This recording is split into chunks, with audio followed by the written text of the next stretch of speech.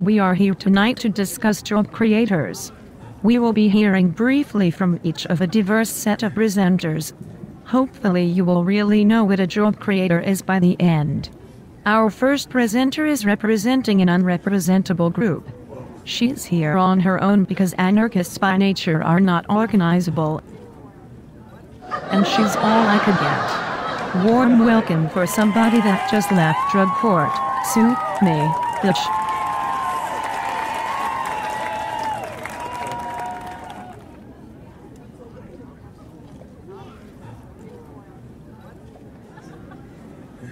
I was in small business my entire life and never met one person with an adjusted income over $1 million. The whole idea of privately held business is to not show it.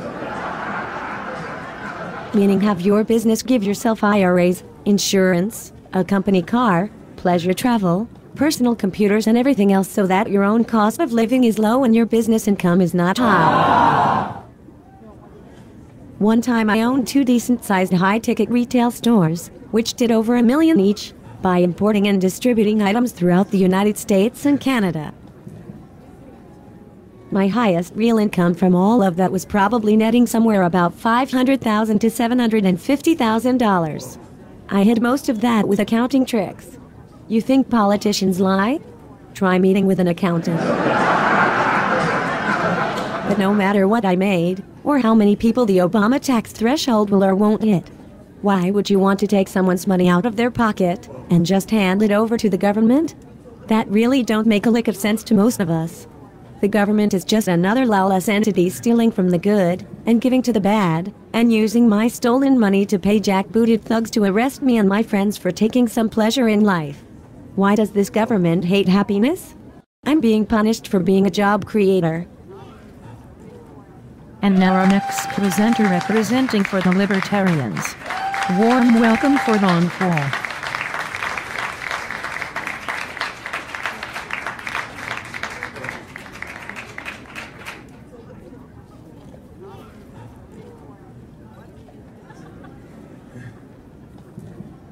The urgency with which the president is pushing his jobs proposal on Congress is cause for alarm.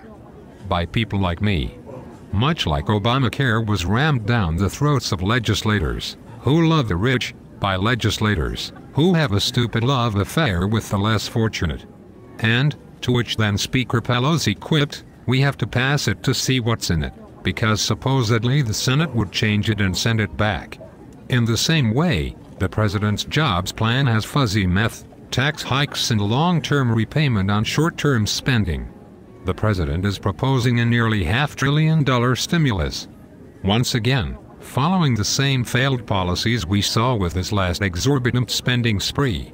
The growing economy and improving employment numbers show that he's failed. Paying for another stimulus on the backs of job creators in the form of tax hikes is illogical. It's as stupid as taking your boss to lunch and then expecting him to pay for the food he eats. And the one year of spending promises will take 10 more to actually be paid for based on the project completion dates. I mean really. Who would ever borrow money up front to do a major project, and then pay back the borrowed money over time with interest to the lender? How stupid does he think we are? The way to fix our economy is to do what Ayn Rand said, and that is to get government mawakers to leave rich people alone. We are the important ones in the world. Without us you're all nothing. We built that, not you. Thanks, Ron, for your speech. Our next presenter took time off from his philanthropy work overseas to represent the Democrats. A warm welcome, please, for George Clooney.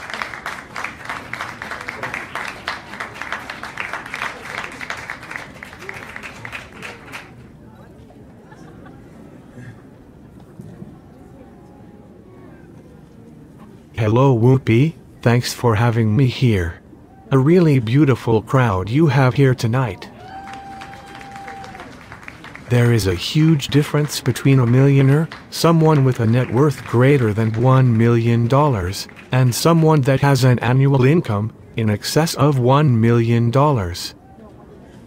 Someone with an annual income greater than $1 million is most likely a multimillionaire, unless they only work one year or they blow every nickel they earn. And to keep this completely straight, the proposed surcharge is 2% of income over $1 million per year. So make no mistake, there will be a bunch of famous or powerful people that will have to pay that 2%. I am definitely one who will. A lot of CEOs, bond traders, the direct descendants of Sam Walton, and most investment bankers to name some more. The following people will not have to pay another nickel. 1. The founder of a small business with $20 million in gross sales that pays himself a $500,000 a year salary. 2. Someone with $10 million in the bank earning 8% in annual income. 3. The guy that owns the local coffee shop where you get your coffee. 4. Independent plumbers, contractors, and the like. 5. The founder of a small business that now employs 100 people who draws a $125,000 a year for his own pay. 6. Partners in a medical practice grossing up to $5 million a year, where each doctor draws a salary in the 200,000 to $500,000 a year range. And finally 7. Anyone with an adjusted gross income under $1 million. These brief examples show that the fair taxation policies proposed by President Obama and Democrats in Congress are benign. Anybody that tells you different is using an old mind trick. If I can scare you, then I can get you to stop thinking rationally. If I make you think you can trust only me while I'm scaring you, then you will do whatever I say without thinking. This trick has been going on for millennia. Folks, don't fall for it anymore. Thanks, George. Our next presenter said he is not campaigning here tonight. His campaign staff gave me a memo which stated that he's here to raise donations to feed hungry puppies in some storm damaged state near the one he was previously governor of. Unquote. That's what the memo said. Tonight he is representing capitalism and high finance. Please welcome Mitt Romney.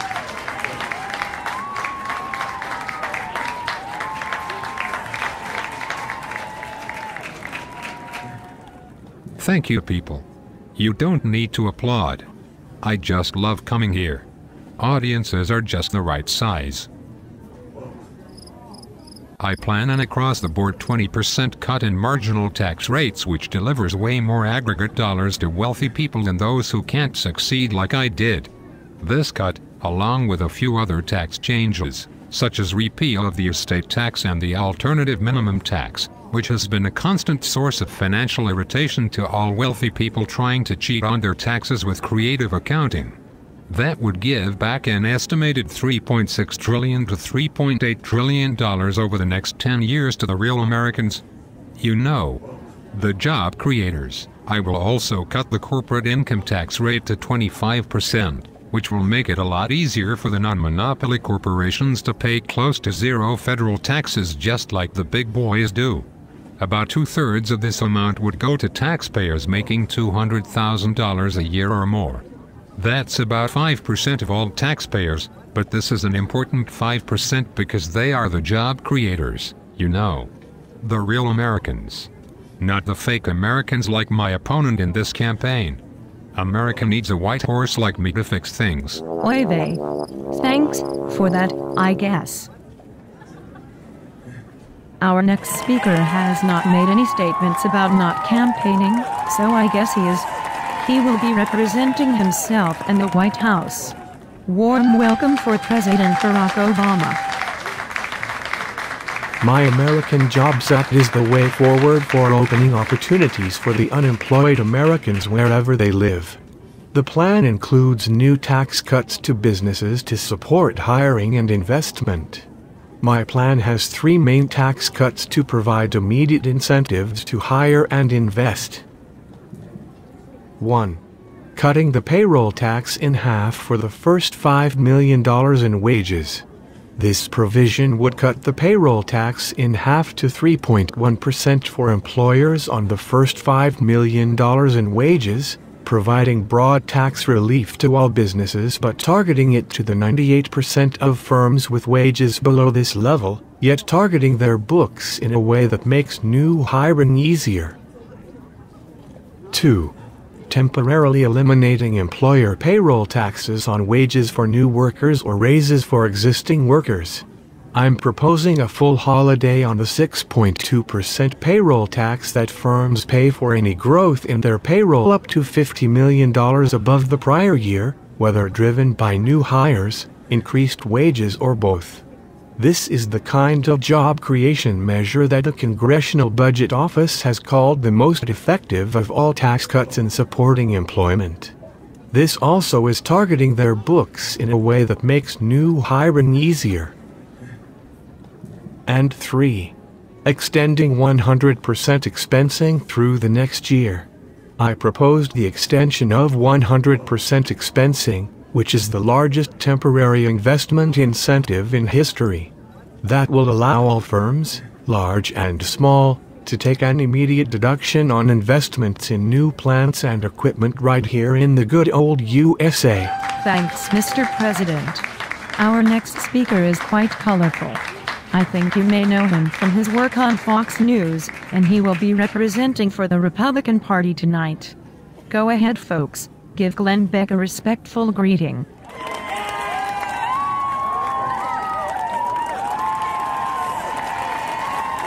Sieg Heil. Zeke 9. I'm not a policy wonk, but I am a thinker. The Manchurian candidate, Barack Hussein Obama, wants to brainwash you into thinking that raising taxes on the job creators will fix everything. It won't. The Nazi liberals are just trying to eat your babies. It makes blood shoot out of my eyes. It's time to wake up. Wake up, real America. When the going gets tough, Americans show up. Hear me now and do exactly what I say. Show up and take our country back by force from the communist, secular Muslim, liberal o fascists who want to control your thoughts, steal your gold, gay marry your children and enslave job creators. Well, I guess we kind of expected that. Sorry, folks. The next person tonight is a person I worked with in the past. She's the kind of comedian that does not do jokes about her naughty bits. A real force for social reform and here to represent the NAP. Give it up for Janeane Garofalo.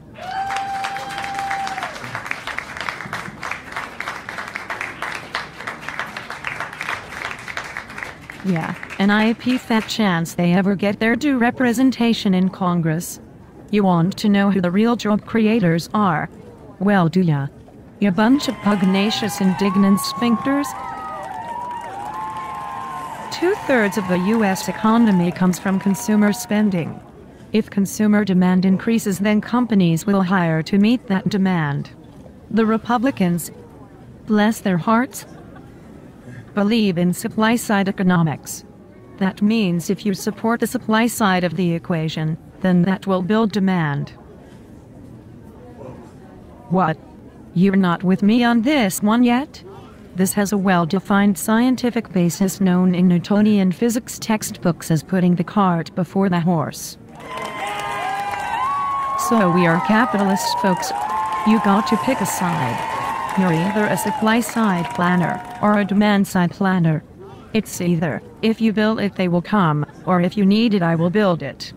These are two competing economic theories in the sense that Pete Jacobs, an Iron Man triathlon winner, is in competition with Tony Stark, the Iron Man character in the movies.